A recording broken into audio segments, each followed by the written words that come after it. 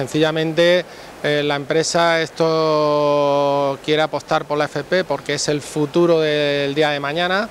y por eso nosotros creemos conveniente patrocinar ya no solamente el Spain Skill, sino empezar a, desde, lo que es la FP, desde que empiezan el primer grado de ellos hasta que finalizan y pueden salir a la calle para poder eh, ejercer su oficio del que crean ellos más conveniente.